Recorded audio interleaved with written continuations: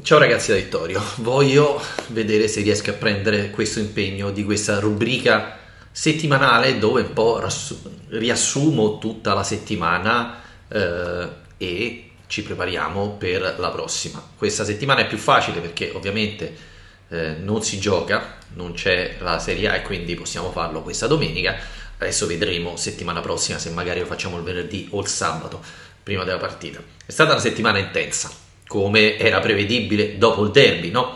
eh, inizio di settimana tosto, forte, la vittoria al derby ovviamente ci ha regalato una grandissima gioia, eh, buona prova della Lazio, Lazio che ha giocato di carattere e questa era una delle mie preoccupazioni, Lazio che secondo me tutto sommato fra l'andata e il ritorno si è dimostrata una squadra più forte della Roma che aveva più voglia di vincere nonostante le assenze, nonostante i problemi e questo è sicuramente un segnale importante. È stata una settimana strana perché sì, all'inizio c'è il derby per cui tante cose da discutere, però poi c'è la pausa per la nazionale e quindi poteva essere una settimana scarica. Non l'è stato anche grazie purtroppo alla polemica fascista.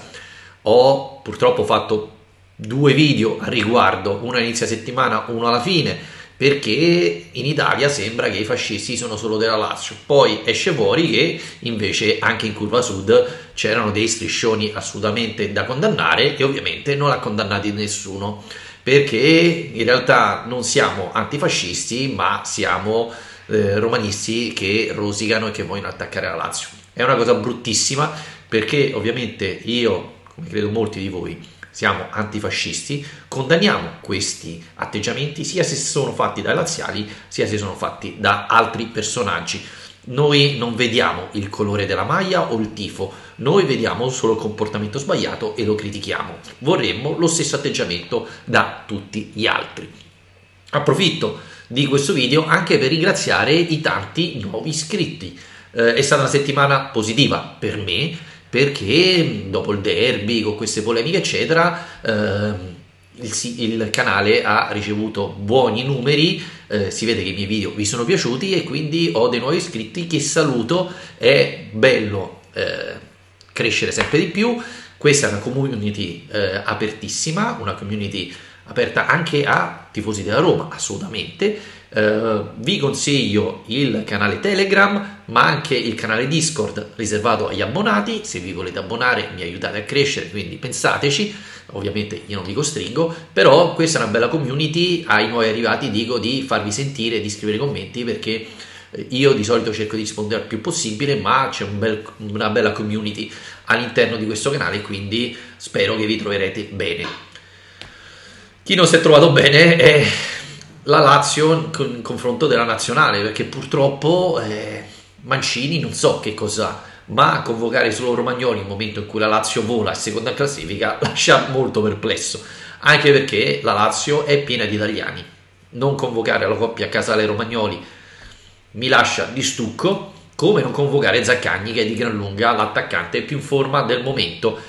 Scelte di Mancini, scelte che adesso non voglio dire che con Zaccagni con l'Inghilterra non perdevamo, però non abbiamo la controprova e invece possiamo sicuramente dire che Zaccagni è il giocatore più in forma di, questa, uh, di questo momento in Italia e quindi è un'assenza stranissima.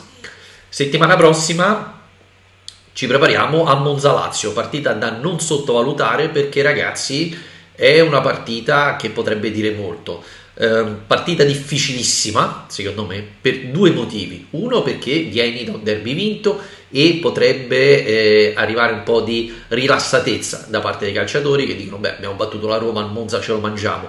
E due perché molti giocatori rientreranno dalle nazionali perché è vero eh, in Italia c'è solo Romagnoli però c'è Marusic che è andato via eh, Niko Savic che è andato via insomma ci sono tanti giocatori in giro per l'Europa e non solo e quindi arriveranno all'ultimo e non sappiamo in che condizioni arriveranno e quindi per questo motivo la partita contro Monza sarà una partita tosta una partita difficile una partita importantissima perché vincere contro Monza sarebbe un segnale fortissimo. La Roma ha per esempio in casa la Sampdoria, per cui una vittoria scontata. Per questo la Lazio non può permettersi di perdere punti contro il Monza, considerando che poi dopo c'è la Juventus.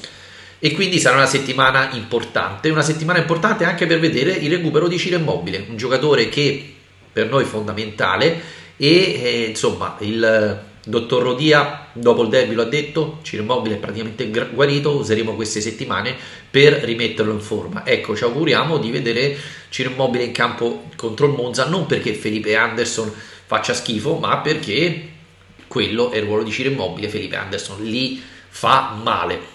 Altra cosa in conclusione è non ci montiamo la testa perché questa rosa ha ancora tanti buchi, siamo secondi in classifica, stiamo facendo benissimo, ma non ci dobbiamo illudere, non dobbiamo dire che questa Lazio è più forte di Juve, Milan e Inter. Sta giocando meglio, ma giocare meglio non vuol dire essere più forti, bisogna tenere la testa bassa, la concentrazione perché eh, speriamo di no, ma la Lazio potrebbe inciampare.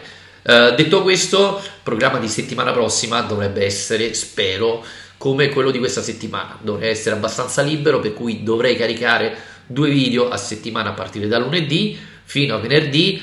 Sabato non so che cosa faremo, se ci sono dei video o meno, e poi ovviamente domenica il post partita, sempre al fischio finale della partita della Lazio. Volevo iniziare una nuova rubrica, volevo portare qualche altro profilo di ex giocatore della Lazio, di giocatori che hanno lasciato la, il segno nella storia della Lazio. Vediamo se riuscirò a farcela eh, settimana prossima, iniziare questa nuova rubrica. Vorrei anche riprendere Lazio Story con qualche episodio eh, legato alla storia della Lazio.